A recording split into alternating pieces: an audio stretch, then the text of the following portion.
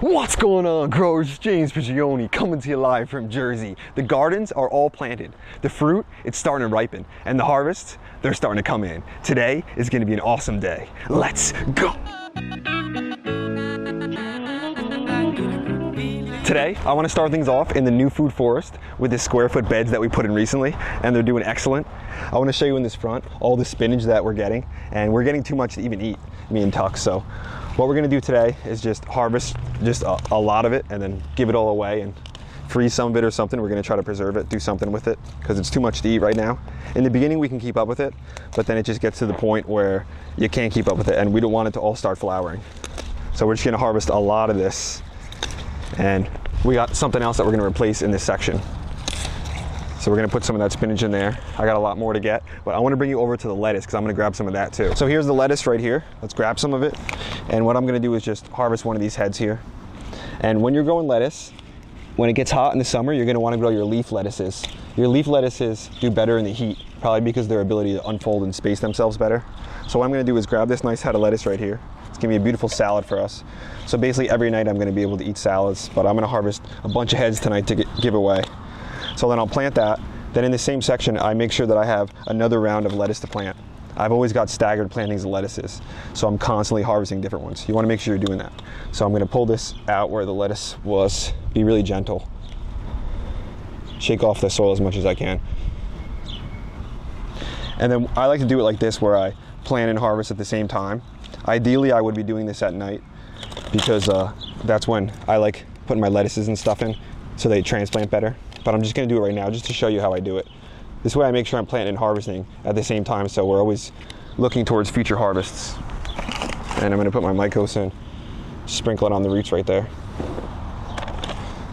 Just dig it in, tuck it in, and then I'm planting and harvesting at the same time. So we're always looking towards the future. Let me just finish tucking this lettuce in. And then you'll notice in front of me we've got some big beautiful onions here and I have a lot of flowers mixed in. I've got nasturtiums, poppy, calendula, marigolds, all different stuff. Just adding to the variety, the diversity of everything. And you'll notice we have a bunch more lettuce planted in here, carrots, and cucumbers are looking fantastic right next to me. In front of me here, we've got a ground cherry. This is a really fun one there. That's kind of different, but really good to eat. It's a delicious one if you've never tried it. I'll show you some of the fruit as the year progresses along. Some basil next to that, and then peppers too. And then next to here we've got some purple dove beans and more lettuces and stuff, cilantro. And look at the size of this, uh, look at the size of this parsley. I think it's called like mammoth parsley or something. These leaves are just ridiculous. It's a flat leaf Italian, delicious flavor. And that's just from some of the soil a little bit. So if we wipe that off and then I'll take a little bite of it. See how it tastes. Mmm, good flavor. A bit mild, but good. What would be a lot better tasting than this would be some fresh strawberries. I think there's some ripe. This Shuksan variety of strawberries over here, they've got so many on it and soon there's gonna be just a plethora of them that are ripe, but they're not ready yet. This variety I have right here next to me has a couple of them that are ripe and I can't wait to eat them because strawberries are my favorite, favorite thing to grow. That's why you'll notice throughout the food forest, they're always just blanketing the ground. That's my ground cover. That's one of my favorite things to eat. Strawberries, blueberries, peaches, pears, so good. This one's pretty close. I mean, it's not perfectly ripe, but that's okay. Not eaten by the birds, and you can see I have the rock right next to it. There's a, a bunch of other ones that are close too. So within a few days, we're just gonna have more strawberries than we could imagine. For these ones, I just pop the top off and then and throw the whole thing in my mouth.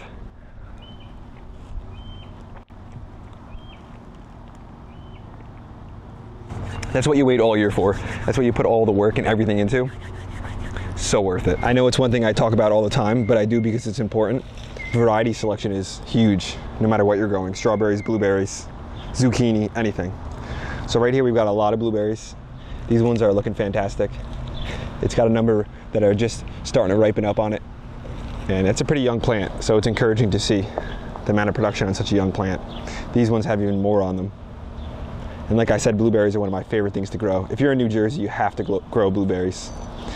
And this plant right here doesn't have many on it this year but I'm sure it'll set up for next year its buddy next to it is just loaded Look at that, so many blueberries. So blueberries and strawberries next to each other. As I move forward through the food forest, you'll notice it's filled up so much. A lot of you have been here since the start of this one, just only a couple years ago when I put it in.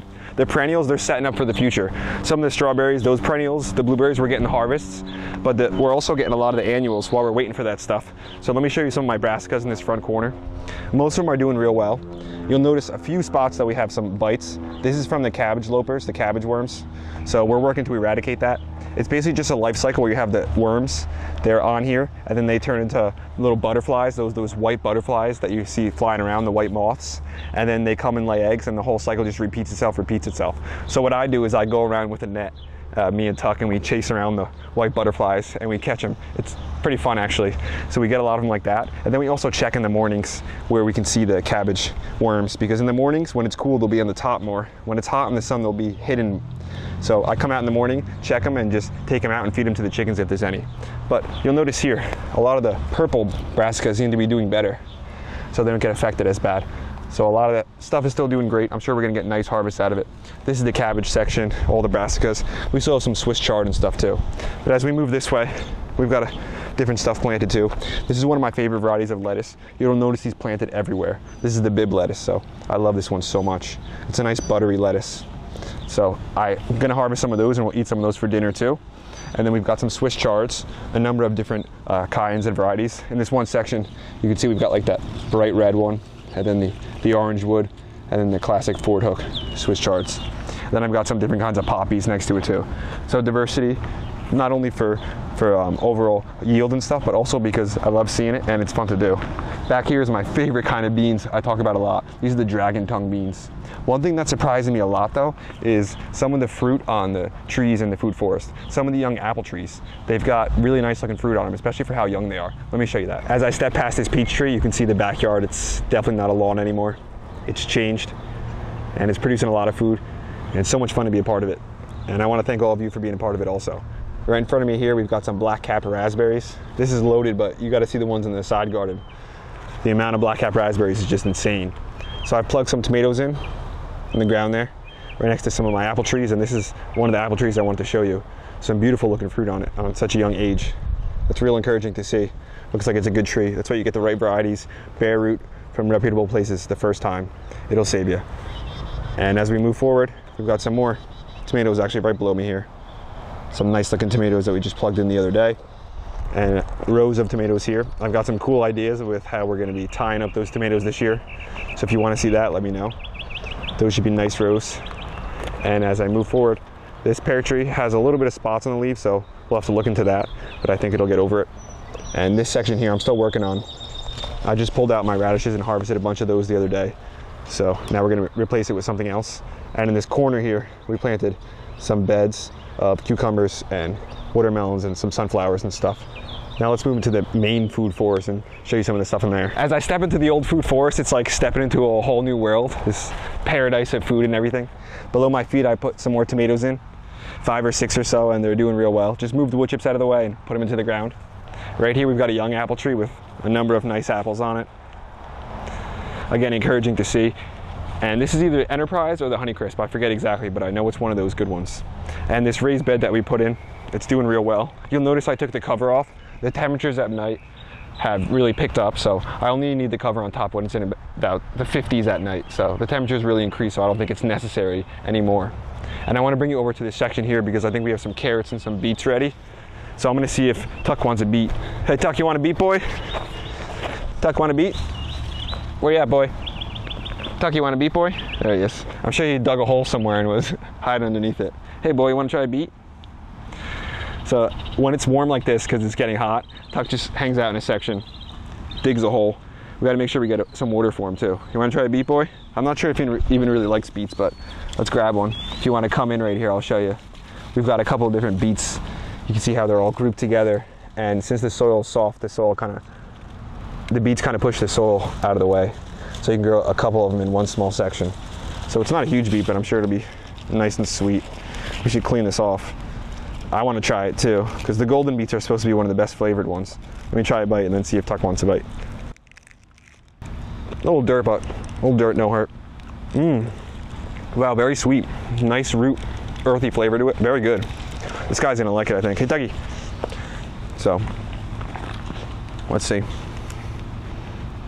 He's kind of just going for the greens more. Let him figure it out. We'll see what happens. It just looks like he might be playing. I'm not sure if he's actually eating it, but either way, it looks like he's having having fun. I was thinking about grabbing Tuck a carrot, but I actually want to eat one myself. So I'm gonna find a nice one, one with a nice fat stalk on it. Help space them out a little better. This one looks decent. It's got a nice shape to it. Nice shape. I mean, it could get a little bigger, but I'm getting antsy. So, again, I'm not worried about a little bit of dirt. Whatever. It's not gonna kill me. It's gotta have some kind of vitamins in it.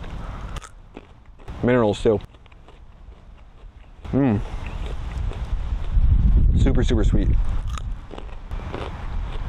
I know Bugs wants some, so. But you can see how much Tuck actually likes the carrots if uh, if if he, if he really if I don't give it to him, he goes nuts.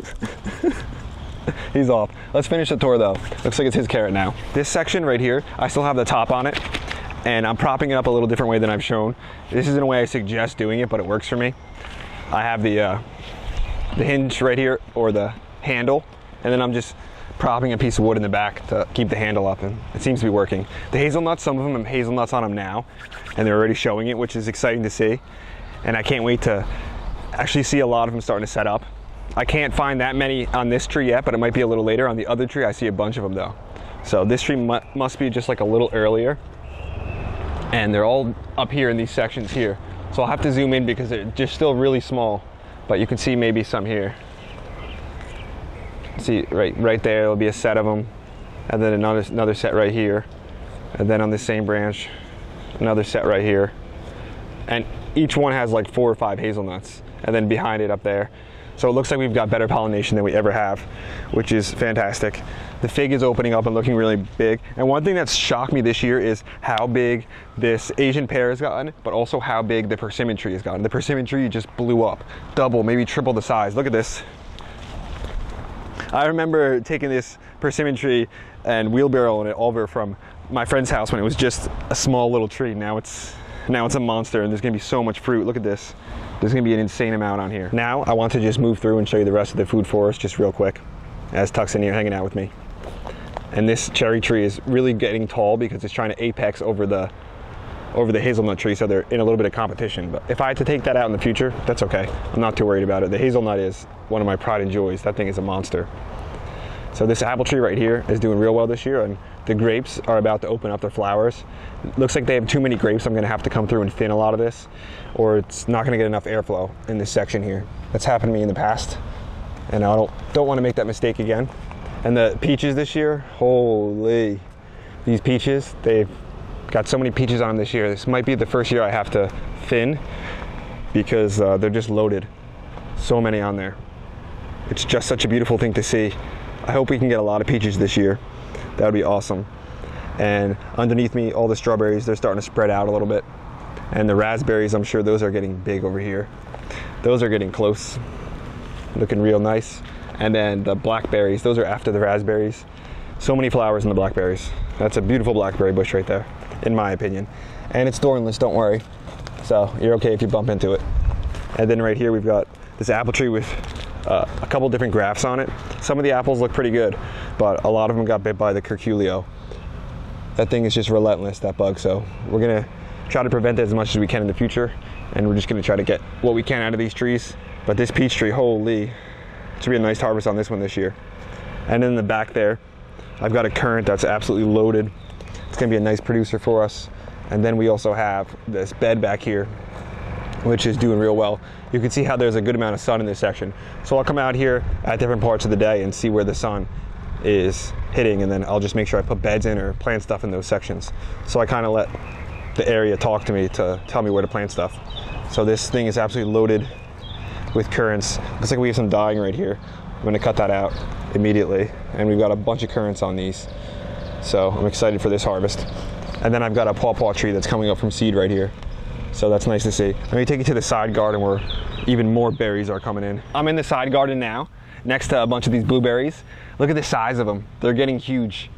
So hanging out next to them, I can't wait to start harvesting some of the blueberries, but I've got them all surrounding me and apple tree above me. Right next to me, this is the red fleshed apple, the Almata red. It's got so many apples on it this year.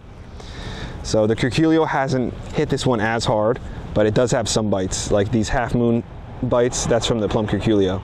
That right there too. So we'll see if we can get some though. It's the tree is looking fantastic. It's got more apples than it ever has though.